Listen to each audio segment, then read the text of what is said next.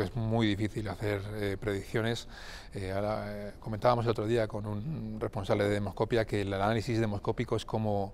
conducir un camión mirando por los retrovisores, que mientras la carretera está recta se puede conducir, si hay un giro suave se puede corregir, pero si hay una curva grande te vas a dar un golpe muy importante. ¿no? Entonces yo creo que en este caso la situación es tan excepcional, tan distinta, la fragmentación del centro derecha, la situación de, la, de los eh, políticos presos y juzgados por delitos tan graves, eh, la concurrencia de todas las elecciones juntas en el espacio de un mes, es muy, muy complicado este escenario como para hacer predicciones de ese tipo que sean realmente válidas. De hecho, estamos viendo encuestas muy diversas de, todo tipo.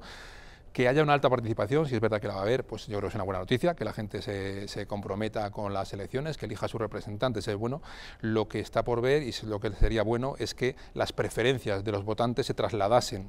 a los parlamentos y a los gobiernos de esa manera. Es decir, que la, que la fragmentación del voto del centro derecha no perjudique, que el Senado eh, tenga la representación de, lo que las personas quieren que, tenga. Es decir, que ese tipo de, análisis que se hacen también de, fragmentación de voto o de el beneficio del PSOE por la destrucción de unidas o no unidas Podemos, parece que cada vez que se pone un nombre eh, es para, para, catastrófico para ellos, ¿no? Izquierda Unida, Unidas Podemos, ni pueden, ni están unidos, ni nada, ¿no? Entonces, esa destrucción del de Podemos que puede beneficiar al, PSOE, unido a la posibilidad de que haya otros grupos dentro del centro derecha que obtengan votos, puede perjudicar claramente la